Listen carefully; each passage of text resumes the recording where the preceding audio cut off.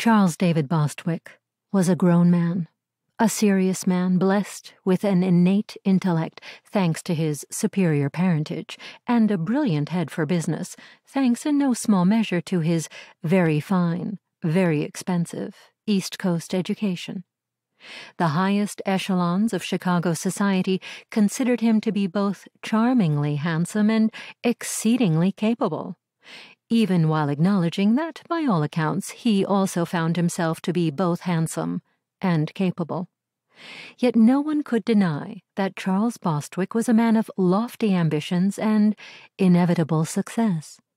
Indeed, the man had finesse, he had panache, he had plans.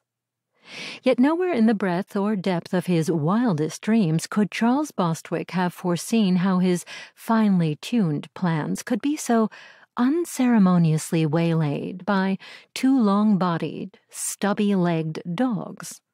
Although calling them dogs put an even further strain on his imagination, and he himself was the very picture of ridiculousness walking them down Main Street of Trillium Bay, clutching their delicate leashes, leashes made of ribbon, no less. Pink, grosgrain ribbon tied in petite bows around the neck of each wee mutt. It was an utter humiliation to be strolling in public with two such unappealing creatures, not to mention doing so during a torrential downpour that left rain streaming from the brim of his bowler hat.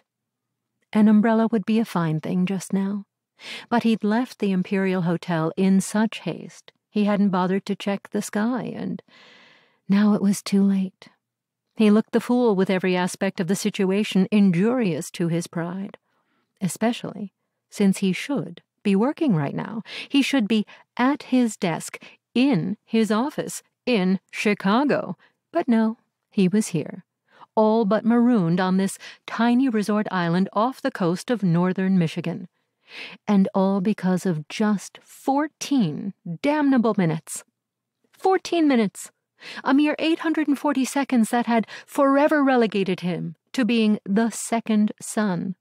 He could have been the firstborn, but thanks to fate, or destiny, or midwifery malpractice, Alexander had come first. Alex, his twin brother in looks, if not in temperament, had come forth into this world at 4.08 p.m., with a smile and a coo, or so the story went, while he himself had loitered in the womb for nearly another quarter of an hour, and arrived on his own schedule at 4:22 p.m. with a scowl and a squall.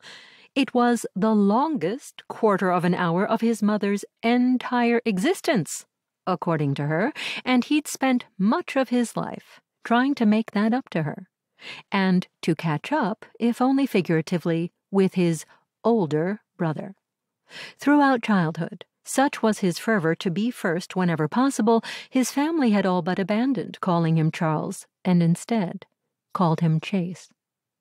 Intellectually, he knew none of this should trouble him any more. He'd proven himself his brother's equal, if not superior in virtually every way, and in truth was far more like their father than Alex was.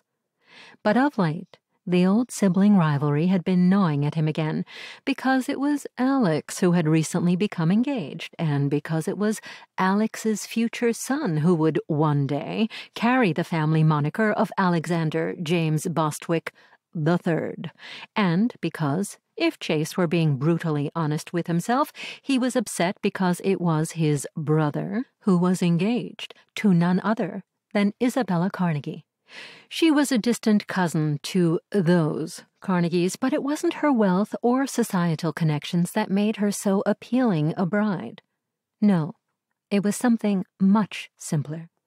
Isabella Carnegie was a true beauty with thick blonde tresses and cornflower blue eyes that appeared innocent one moment and sultry the next, causing every single young man who looked upon her to dream of marriage and causing every settled husband to dream of being single.